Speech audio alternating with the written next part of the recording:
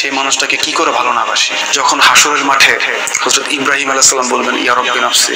হজরত আদম আলাইসাল্লাম বলবে ইয়ারব্বে নাফসি। পৃথিবীর যাবতীয় তামাম নবী রাসূল সবাই বলবে ইয়ারব্বে নাফসি। হে আল্লাহ, আজকের এই কঠিন দিনে আপনি আমাকে বাঁচান আমাকে বাঁচান, আল্লাহ আমাকে বাঁচান। নবী রাসূল তারা ভয়ে একত্রিত হয়ে যাবে, আল্লাহ আমাকে বাঁচান ইয়ারব্বে নাফসি। সেই দিন রাসূল সাল্লাল্লাহু আলাইহি ওয়াসাল্লাম বলবেন ইয়ারব্বি উম্মতি, হে আল্লাহ, আপনি আমার উম্মতকে বাঁচান।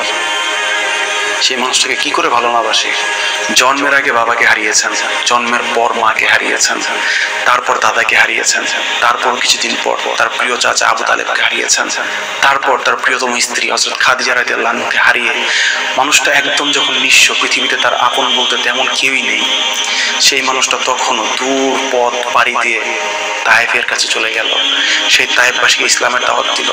যেন তারা অ্যাটলিস্ট ইসলামের দাওয়াত কবুল করে। জাহান্নামের আগুনে অধিবাসী না হয়ে যায়।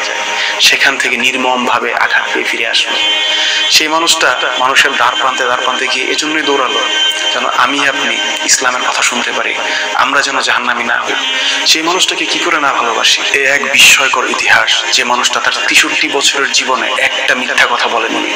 যে মানুষটা কোনোদিন আল্লাহ ছাড়া কারও কাছে মাথা নত করেনি। যে মানুষটা প্রতিনিয়ত মানুষকে ভালো পথে আহ্বান করে গিয়েছেন, মানুষকে অধিকার দিয়ে গিয়েছেন, নারীদেরকে অধিকার দিয়ে গিয়েছেন। যে মানুষটা পৃথিবীতে এসে ভালো ছাড়া খারাপ কিছু করেন।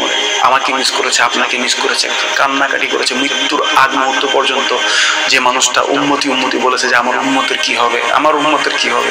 সেই মানুষটাকে কি করে ভালো না বাসি? এই ভালোবাসা টাকা দিয়ে কেনা কোনো ভালোবাসা না। এই ভালোবাসা রাজনৈতিক কোনো ভালোবাসা না। এই ভালোবাসা আল্লাহর জন্য ভালোবাসা। জীবনের চেয়েও বেশি ভালোবাসি, জীবনের চেয়ে বেশি ভালোবাসতে চাই সব সময় চাই। প্রিয় নবী মোহাম্মদ সাল্লাহ সাল্লামকে। আপনার নেতাকে কেউ গালি দিলে আপনার কষ্ট লাগে, আপনার দুঃখ হয়। আপনার বাবাকে নিয়ে কেউ কথা বললে আপনার কষ্ট হয়। আপনার দুঃখ লাগে, আপনার মা নিয়ে কেউ গালি দিলে আপনার কষ্ট হয়। রাসুল সাল্লাহ আসলামকে গালি দিলে, তার ব্যঙ্গ চিত্র অঙ্কন করলে আপনার কষ্ট হয় না। আপনার মধ্যে নাড়া লাগে না। কেমন মুসলিম আপনি? নিজে নিজে চিন্তা করে দেখুন, আপনি ঠিক কতটা ইমানদার? আপনি ঠিক কতটা তাকে ভালোবাসেন?